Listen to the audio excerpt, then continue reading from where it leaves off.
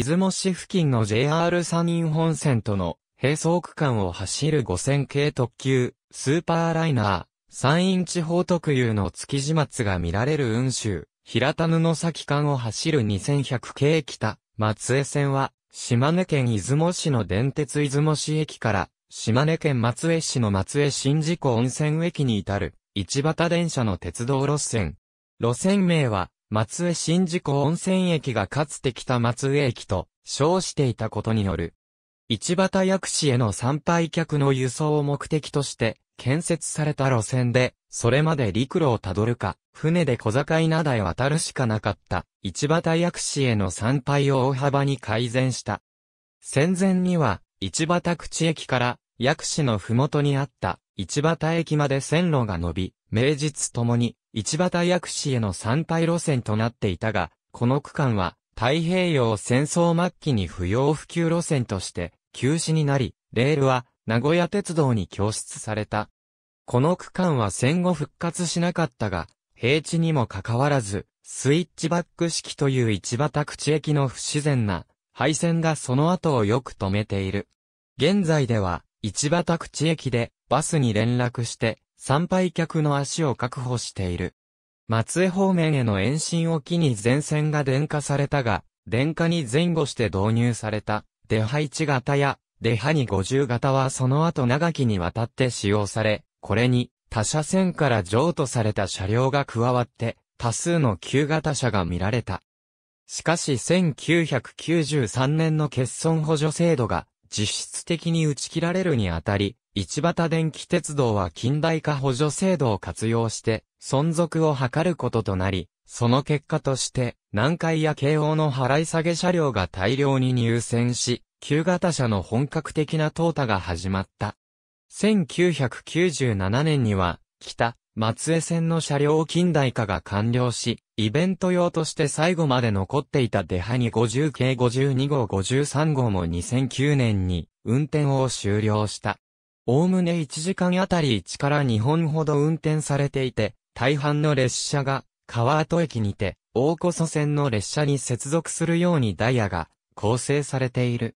平日朝の特急、スーパーライナーのみ4両編成で車掌が乗務するが、その他の列車はすべてワンマン運転である。特急は乗車券のみで利用でき、特急料金は不要である。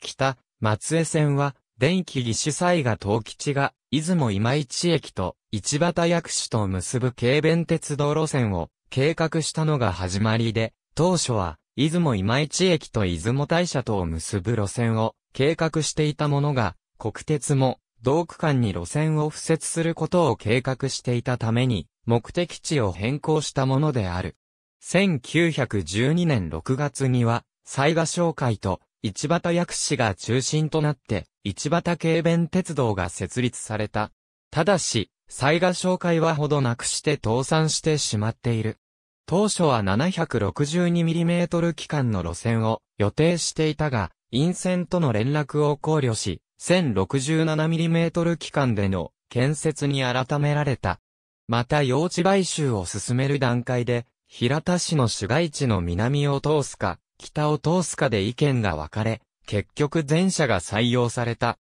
こうして、雲州平田駅までの部分開業を経て、1915年に、市畑駅までの非電化路線が開業し、小堺灘駅で、松江行の汽船と連絡を図った。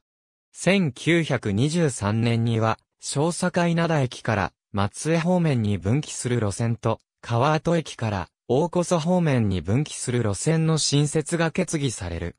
当初は、この延伸区間も、非電化路線とする予定であったが、新規開業路線は電化された鉄道が主流となりつつあった当時の時勢を考慮して全線の電化を決定。社名も市畑電気鉄道と改められた。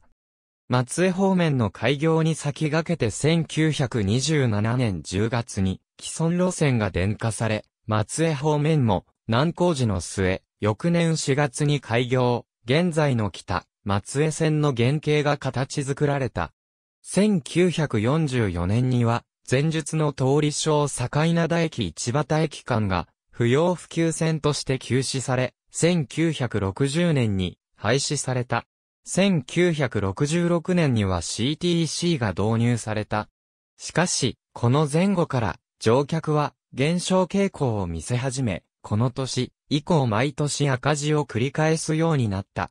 1972年には全線廃止の意向を明らかにしたが、地元の反対で今日まで営業努力が継続されている。全駅島根県に所在。市畑口駅市畑駅。ありがとうございます。